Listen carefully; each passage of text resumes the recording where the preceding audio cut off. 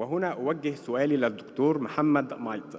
دكتور محمد ما هي الخطط والبرامج الخاصة بالدولة لتطبيق الإصلاح الاقتصادي مع اقتراب مصر للحصول على القرض الجديد؟ وما هي السياسات المالية في التعامل مع الفترة الحالية والقادمة من الأزمات العالمية وأيضا وضع الدين العام؟ شكرا جزيلا. ويعني خليني أقول مهم جدا إنه في مثل هذا الظرف إن إحنا نوضح هو إحنا فين بالنسبة للسياسه الخاصة بالمالية العامة للدولة والاستدامة الخاصة بها أيضا بالنسبة للدين وأيضا تأثير الظروف اللي بنمر بيها والتحديات ودي التعاملات إزاي أنا يعني هاخد زي دولة الرئيس كده ما عمل شوت على ال 42 سنة الماضية. في ال 42 سنة الماضية عاوزين نشوف مؤشرات المالية العامة للدولة. وأنا كل مؤشر هاخده من أصغر حاجة لأكبر حاجة. هبدأ مثلا على سبيل المثال عجز الموازنة المصرية. هنشوف إنه أنا خدت من سنة الدراسة ديت من 80 81 حتى 21 22 لقينا إنه بالنسبة لعجز الموازنة العامة للدولة هنلاقي فيه خمس سنوات هم كان فيهم العجز يعني يعتبر أقل من 5% وبالعكس في سنة اللي هي 93 94 عملنا فائض في الموازنة العامة للدولة فائض كلي. ودولت السنوات زي ما كان دولة الرئيس شرح دول تأثير حرب الخليج وإسقاط الديون فدول اللي عملوا الموضوع ده. غير كده هنلاقي أنه بادئ من 6 واحد من عشرة وأقصى حاجة كنا وصلنا لها كان 13 و8 من عشرة. فده بمتوسط سبعة وتسعة من عشرة ده متوسط عجز الموازنة على مدار 42 سنة بما فيها حتى السنوات اللي كان فيها تأثير إلغاء الديون ونص ال ال ال ال الوسيط ده اللي هو بيقسم البيانات دي نصين أقل وأكتر بنسميه الوسيط كان 8% اذا فدول مؤشرين يفيدونا جدا لو إن إحنا رحنا بقى على مدار السنوات واخدينها سلسلة زمنية هنلاقي إنه يعني العجز بتاع الموازنة مرتبط دايما بسياسات وظروف لكن زي ما اتفقنا إنه أقل فترة كانت أكبر فترة طبعا من 80 ل 85 دي كانت فيها أرقام كبيرة 13 و8 من عشرة و12 و3 من عشرة ثم مشي بعد كده بيتراوح ما بين 6 إلى 10 و4 من عشرة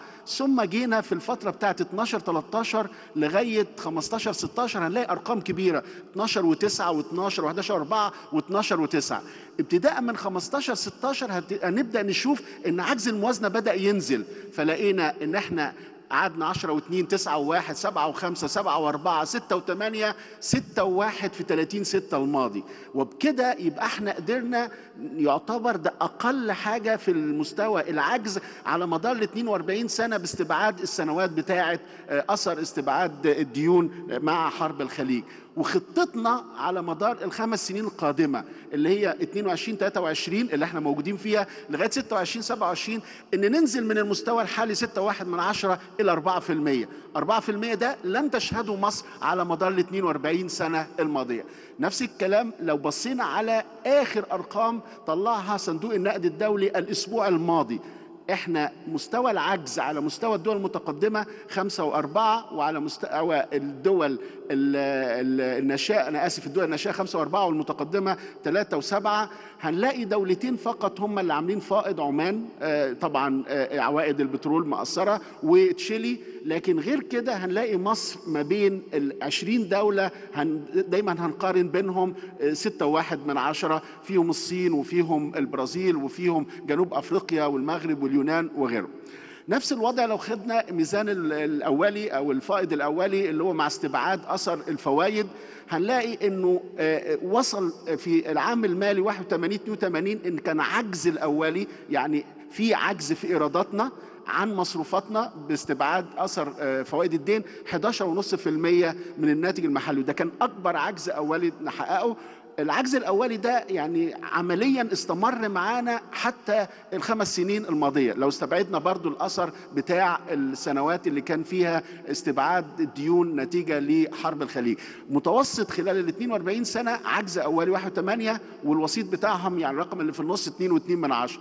لو رتبناهم هنلاقي كله عجز أولي ما عدا السنوات من 90 ل 95 اللي فيهم الأثر بتاع استبعاد الديون مع حرب الخليج. لكن حتى بعد كده 21 سنة متواصلة عجز أولي. أول سنة نعمل فيها فائض أولي كان العام المالي 17 18 واستمرينا بنعمل فائض أولي حتى 30 6 22 عاملين 1.3 من عشرة حتى أثناء كورونا. وخطتنا إن إحنا نتحرك في اتجاه إن نعمل فائض أولي 2.3 من عشرة على العام المالي 2026 2027 ولو بصينا لوضع مصر بالنسبة للفائض الأولي في آخر حاجة صدرت من صندوق النقد الدولي الأسبوع الماضي هنلاقي برضه عمان للوضع اللي أنا شرحته سبعة وسبعة يليها مصر مباشرة واحد وثلاثة في دولتين اللي هم تشيلي والبرازيل 0.8 0.8 لكن كل الدول بعد كده ال 20 دولة اللي بنقارن معاهم عاملين عجز أولي. لو انتقلنا للدين هنلاقي إن أقل دين شهدته مصر على مدار ال 42 سنة ده 78.7 من عشرة. وأعلى دين شهدته مصر 159 اذا على مدار ال 42 سنة لم تشهد مصر دين أقل من 78.7 من عشرة في المية. بل بالعكس في فترة اللي هي في الفترة بتاعة 90 لغاية أنا آسف الفترة بتاعة 80 لغاية 85 كانت مستويات الدين بتتراوح ما بين 120 إلى 159 في المية. ده الدين منسوب للناتج المحلي. وبالتالي بنبص نلاقي الفترة الأولانية أهو من سنة 80 81 حتى الفترة بتاعة يعني 95 96 هنلاقي مستويات الدين كانت عالية جدا ولغاية 88 و4 من عشرة. نزلت ثم عادت الارتفاع مرة أخرى وخاصة هنلاقي في بعض الأرقام في الأعوام 2002 و2003 و2004 كنا بنتكلم على 120% و118 و119% نزلت بعد كده مع فترة إصلاح اقتصادي من 2005 لغاية 2009 ثم ارتفعت مع 2011 إلى أن وصلت ل 103 102.8 من عشرة ولكن استطعنا إن إحنا ننزلها لغاية قبل كوفيد 19 ل 80.9 من عشرة يعني كنا خلاص مقربين لأقل مستوى دين عرفته مصر خلال ال 42 سنة. طبعا مع السنوات بتاعه كوفيد 19 بتاع جائحة كورونا ارتفعنا. انتهينا السنة دي ب 87 و8 و87 من عشرة. توقعاتنا إنه على مدار الأربع سنين الخمس سنين القادمين من 22 23 حتى 26 27 ننزل ل 72% وده برضه هيكون أقل مستوى دين عرفته مصر في أكثر من 42 سنة. نقطة مهمة جدا. المكون الأجنبي في دين أجهزة الموازنة. هتبصوا حضراتكم إنه في سنوات كان الدين الأجنبي بيمثل 88.3 من عشرة. يعني لو بصينا للعام المالي 90 91 هنلاقي إن الدين الأجنبي كانوا بيمثل 88.3 من عشرة من الدين أجهزة الموازنة العامة للدولة. وهنلاقي برضو في 80 81 كان 84.8 من عشرة. وهنلاقي فترات طويلة كان الدين الأجنبي بيعدي 50% من. من إجمالي الدين. يا ترى إحنا انتهينا في العام المالي 21 بكام الدين الأجنبي بالنسبة لإجمالي الدين؟ هنلاقيه 19% وهدفنا برضو إنه إن شاء الله بإذن الله على العام المالي 26 27 إن ننزل بهذا المستوى. لو بصينا على مستوى الدين هنلاقي إن الدول المتقدمة 111 و3 من عشرة العالم كله 99 والدول الناشئة 67 ونص مصر 85 و3 من عشرة وفي ظل المستهدف نقدر نوصل لهذا الرقم. طيب لو إحنا بصينا على إنه خدمة الدين هنلاقي خدمة الدين كنسبة من الناتج المحلي في بعض الأوقات وصلت لتسعة تسعة وكسر في المية وفي أوقات نزلت إلى مستوى منخفض زي ثلاثة أو أقل من ثلاثة دايما هنلاقي التحليل بتاعها مرتبط بمستويات التضخم وأسعار الفايدة وبالتالي مقدار خدمة الدين كنسبة من الناتج المحلي. إحنا أعلى حاجة كنا وصلنا لها في العام المالي اللي هو 2018 2019 كانت 9.3 من عشرة. العام المالي اللي هو 21 22 إحنا انتهينا بسبعة واربعة من عشرة وكان خطتنا ان إحنا ننزل ل 6% آه للأسف طبعا عندنا الفترة ديت لأن في تضخم وفي آه أسعار فايدة آه اتحركت في الأسواق العالمية وبرضه محليا. فبالتالي يعني متوقعين إن السنة دي ممكن مش هنقدر إن إحنا نخفض لكن عندنا خطة على 26 27 يكون النسبة دي 6% نفس الوضع بالنسبة لي لو خدتوا نسبة من الإنفاق هنلاقي برضو إنه الفترة اللي بيزيد فيها التضخم بيطلع فيها أكبر رقم كان 39 أو تقريبا قرب ال 40% من الإنفاق ثم نزل السنة دي بقى 31.9 من 10 أو 32% مهم جدا إنه إحنا عشان نقدر نقول في استدامة للمالية العامة للدولة هي التطور بتاع معدلات التزايد ما بين المصروفات والإيرادات. هنلاقي إنه دايما لازم الإيرادات تبقى أكتر معدل نمو الإيرادات أعلى من معدل نمو المصروفات. طبعا لو بصينا في السنوات بتاعه 90 والمنح اللي جات لنا عشان تخفيض المنح وتخفيض الدين كانت فيها نسبة الإيرادات عالية جدا. لكن ما دون ذلك هنلاقي دايما قريبين من بعض وعشان كده دي هتبقى نقطة مهمة في الإصلاح اللي ممكن نعمله. آه طب الإيرادات الضريبية. آه الإيرادات الضريبية هنلاقي إن هي آه كنسبة من الإيرادات العامة دايما ال ال ال ودي هنبينها في الجراف اللي بعد كده دايما ال الإيرادات الضريبية بتمثل جزء كبير جدا من الإيرادات. ودايما هنلاقي إن الإيرادات العامة دايما بتزيد مع زيادة في الإيرادات الضريبية. يعني لو بصينا هنا هنلاقي إنه نسبة الإيرادات الضريبية دايما كانت في حدود. يعني قعدت فترة بتمثل تلتين الإيرادات العامة ومؤخرا بقت ثلاث أرباع الإيرادات العامة. كانت تلتين الإيرادات العامة في السنوات اللي هي كان بيبقى فيها منح. فالمنح كانت بتمثل جزء من إيرادات الدولة. الفترات الأخيرة ما بقاش في منح وبالتالي فات إيرادات الدولة هي الإيرادات الضريبية والإيرادات الغير الضريبية. فتقريبا الهيكل دلوقتي إن الإيرادات الضريبية من الموازنة العامة للدولة ثلاث أرباع الإيرادات. في البعض بيقول طب إيرادات الهيئات الاقتصادية. أنا لو ضميت إيرادات الهيئات الاقتصادية مع الإيرادات بتاعة الدولة هجد أن إيرادات الضريبية نسبتها انخفضت وبقت بتمثل في حدود 30 35% من إجمالي الإيرادات. بل بالعكس بقى الإيرادات الغير ضريبية مع إيرادات الهيئات الاقتصادية بقت هي اللي بتمثل 65 إلى 75% من إجمالي الإيرادات. طيب الهيكل بتاع المصروفات هنجد إنه هيكل المصروفات أهم تطور حصل فيه هو الإنفاق على الاستثمارات. يعني أعلى معدلات هنلاقيها اتحركت كانت مثلا في 1999 و2000 كانت 20% وبعديها 21 22 17 و6 من 10% هنجد إن المصروفات الأخرى كانت 21 النهارده بنتكلم في تقريبا 6 و3 من 10 هنجد إنه الدعم والمنح كان تطور 28.5% وصل في أوقات 35.8 من لما كنا بننفق جامد على دعم المواد البترولية والطاقة. إحنا حاليا النهارده بنتكلم في 19% لكن تحسن هيكل الدعم لأنه بدل ما كان يعني 65 70% من الدعم رايح للطاقة النهارده بقى متوزع على حاجات أكثر فائده يمكن الفوائد هي اللي خدت نسبة أكبر وده ارتبط ب اولا إنه دايما مع النمو في إنفاق والفترات اللي فيها تضخم بيرتفع فيها أسعار الفايدة فبيبقى في جزء أكبر من الموارد بيروح لهذا السبب. الاخ الأجور وتعويضات العاملين تقريبا مستقرة عند 20% من الإنفاق.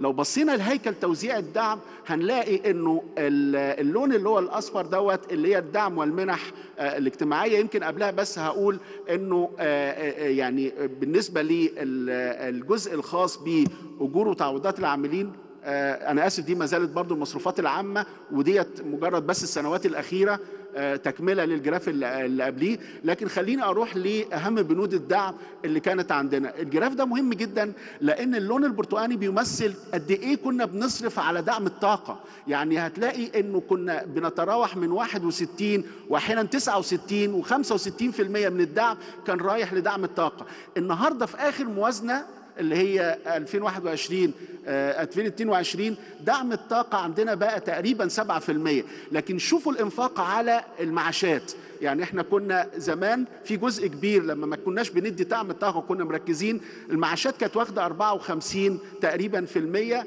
ثم وصلت في سنوات انها بقت زيرو مفيش دعم للمعاشات رايح على الإطلاق فعملت مشكلة فيها لكن استردت تاني بقى دعم المعاشات واصل ل 35% وأيضا بالنسبة لدعم السلع التموينية هنلاقي إن هو تطور وصل ل 35% وحاليا 27% لل طب إيه التحديات اللي بتقابلنا؟ في تحديات متعلقة بارتفاع التضخم العالمي من 2.8 من عشرة في 2020 النهارده بنتكلم في 9.1 من عشرة في 22 اترد عليه بارتفاع معدلات الفايدة في أمريكا اللي كانت ربع في المية. النهارده 3 وربع. في كلام إنها هتروح لخمسة ونص. مع زيادة طبعا ده نتج عنه زيادة في قوة الدولار. أثر على انخفاض العملات على مستوى العالم. ده أدى إلى إنه في ارتفاع تكلفة للتمويل وصعوبة الوصول للأسواق الدولية. وارتفاع تكاليف توفير الاحتياجات الأساسية. كل ده أدى إلى تضاعف تكاليف تدبير الاحتياجات من العملة الصعبة وأيضا تدبير كل الاحتياجات المتعلقة بالموازنه وما إلى ذلك. فدي تحديات هتأثر على طبعا إن إحنا عندنا مستهدفات لازم ناخد في اعتبارنا هذه التحديات. في تحديات خارجية احتمالات في كسود كساد في الاقتصاد العالمي في تخوفات من اضطرابات في سلع الإمداد للسلع الغذائية والطاقة في استمرار لتبعات الحرب في أوروبا وتطورها ومداها الزمني وأثرها في استمرار لمعدلات التضخم وأسعار الفائده العالمية في دول العالم والأسواق الدولية في تحديات داخلية. قدرتنا على الحفاظ على استدامة معدلات التنمية زيادة معدلات التضخم برضو ده تحدي إن إحنا لو استمر في معدلات تضخم وبرضو استمرار معدلات الزيادة السكانية على الوضع التالي. إحنا ممكن نجاوب على التحديات ده باستمرار برامج الحماية الاجتماعية وتوفير احتياجات المواطنين والاستمرار في التنمية وخلق فرص عمل وتمويل خطة تنمية وتحسين بيئة العمل وجذب استثمارات جديدة. كل ده يساعدنا على تحقيق الاستدامة بتاعة المالية العامة. موضوع الدين. إحنا كنا في 2016 2015 2016 كنا 102 و8 النهارده إحنا خمسة. أنا يمكن هتكلم على في نوعين من الدين اللي بنعمل له تقرير اللي بيتنشر في العالم حاجة اسمها دين الحكومة العامة وفي بننشره هنا حاجة اسمها الحكومة المركزية. بيبقى في فرق بينهم 1 أو 2% نتيجة للتوصيف اللي بيبقى مطلوب على مستوى العالم. مش هخش في تفاصيله. لكن يعني الحكومة العامة النهارده اللي هو موجود في المؤسسات الدولية 85.2 من عشرة إحنا بنستهدف إن نروح ل 72% في العام المالي 26 27 بس ده معناه إن أنا أشتغل على إدارة الدين. انوع مصادر الدين تقليدي سكوك أخضر قروض وما إلى ذلك. وأيضا أنوع الأسواق. دولية وإقليمية ومحلية وعملات مختلفة دولار ويورو وين ويوان. وأيضا أزود متوسط عمر الدين ونحاول نخفض تكلفة التمويل مع تخفيض معدلات التضخم والاستمرار في تحقيق الفائض الأولي وخفض عجز الموازنة. أيضا إن إحنا يبقى في زيادة لمساهمة القطاع الخاص في تمويل الاستثمارات العامة وتمويل التنمية إلى جانب الاستثمارات العامة والحكومية. آه طيب إحنا دلوقتي هقارن ثلاث مراحل. 2015 2016 إحنا النهارده 2021 22 30 6 آخر حاجة نشرناها والمستهدف نروح له 26 27 بالنسبة للفائض الأولي إحنا في 15 16 كنا سالب عجز أولي 3 و5 إحنا في 30 6 السنة دي يعني هنا ب 1 3 من 10 مستهدفين 26 27 نبقى 2 و3 من 10 فائض أولي.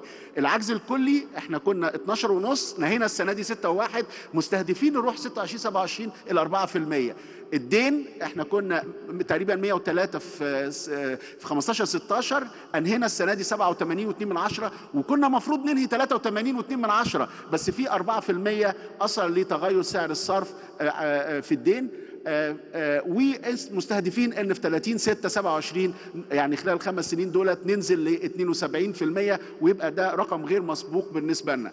عشان نحقق ده إحنا لازم كموازنة عامه للدوله عندنا حاجة زي دستور نستهدف دايما معدل نمو إيرادات سنوي لا يقل عن 20% ونحاول نحافظ على معدل نمو إيرادات لا يزيد عن 12% أيضا عندنا خطة استراتيجيه الإيرادات المتوسطة معتمدة على إن كل سنة أنا بزود الحصيلة الضريبية بتاعتي للناتج المحلي بمقدار نص في المية على مدار أربع أو خمس سنين تبقى 2.5% أعمل ده إزاي؟ هوسع القاعدة الضريبية وأضم الاقتصاد الغير رسمي. هطبق طبعا نحاول نحد من عملية تهرب ضريبي وتقليل عدد الإجراءات والزمن المستغرق في الفحص والتسويات الضريبية. وأنا بأكد لحضراتكم ما أثير على أحيانا بيبقى عندنا زي آه، يعني تقديرات جزافيه وبعض الإجراءات والفحص بيتأخر. كل الكلام ده إن شاء الله بإذن الله بينتهي مع ديسمبر هذا العام اللي هو هنبدأ فيه تطبيق المنظومة المميكنة بالكامل وإن شاء الله هنطلع قانون